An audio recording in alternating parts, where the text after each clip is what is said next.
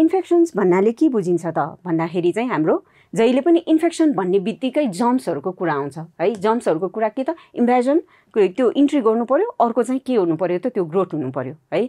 Growth हुनु पऱ्यो त्यसले गर्दाखेरि चाहिँ इन्फेक्सन्स होइन?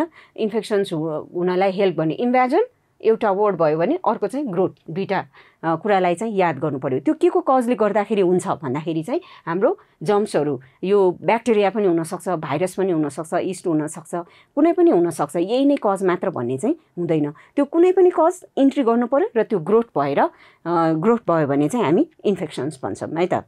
अब अर्को भनेको अब इन्फेक्सन्स त हाम्रो लागि हार्म नै भयो होइन? हार्म हाम्रो अथवा पेसेन्टको लागि चाहिँ के भयो त? हार्म भयो। भन्दाखेरि त्यो हामी एज ए हेल्थ प्रोफेसनल होइन नर्स भइसकेपछि चाहिँ मेन हाम्रो प्रपोज भनेको चाहिँ त्यो इन्फेक्सन्सलाई हामीले के गर्ने त? प्रोटेक्ट गर्ने हो अथवा प्रिभेन्ट गर्ने हो होइन?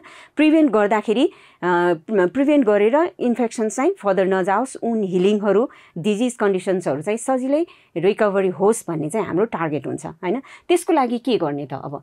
इन्फेक्सन प्रिभेन्सन र कन्ट्रोलको लागि चाहिँ हामीले के गर्नु पऱ्यो त भन्दाखेरि चाहिँ मेनली प्र्याक्टिस कस्तो प्र्याक्टिस गर्नु पऱ्यो भन्दाखेरि इभिडेन्स बेस जुन कुराहरू हामीले प्र्याक्टिस गर्दै जाँदाखेरि चाहिँ त्यो इन्फेक्सन्सहरू चाहिँ प्रिभेन्ट भएको इभिडेन्सहरू हाम्रो होइन साइन्टिफिक बेस कुराहरूलाई चाहिँ हामीले एप्लाई गरेर अभोइडेबल इन्फेक्सन्सहरू चाहिँ हामीले मेन चाहिँ के गर्ने हो त? प्रिभेन्ट गर्ने हो।